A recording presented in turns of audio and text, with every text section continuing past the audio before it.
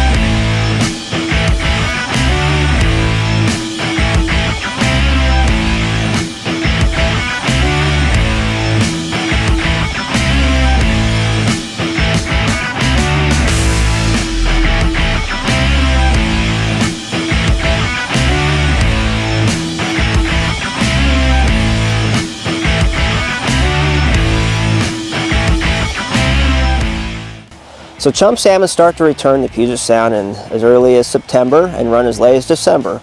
But typically I tell folks to concentrate their efforts in October and through at least mid-November.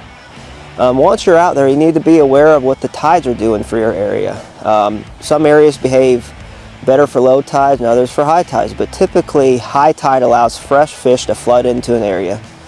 And once you're out there, just kind of keep tabs on how certain spots fish during certain different tides.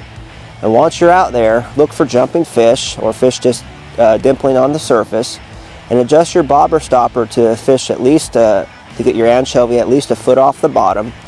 And what you do is you wait for a group of fish to move by, cast upstream, and let that bobber and anchovy drift through the school of fish with the current. And once that bobber goes under, set the hook, you should have a good hookup and uh, fight that fish and land it, and that's pretty much it.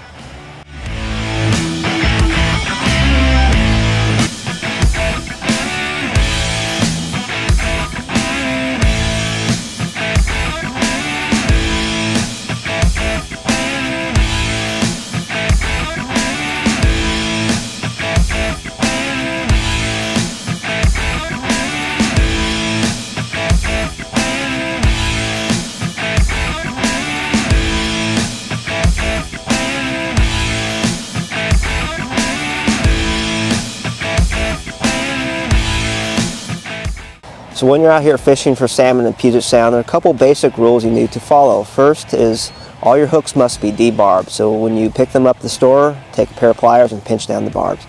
Secondly, they have to be single point hooks. So that means no treble hooks.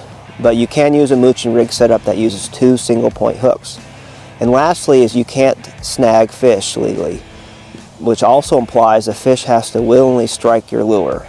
So that's the great part about using the slip bobber and anchovy setup is the chum salmon are actively striking at your bait. You get a good hookup on it and land the fish and it's legal to do so. So a really simple method to use and just follow these basic rules and also look up the specific regulations for each of your marine areas and time of year to make sure there are no other rules you need to follow. So with that, take a kid fishing, take a friend fishing, and uh, go have fun.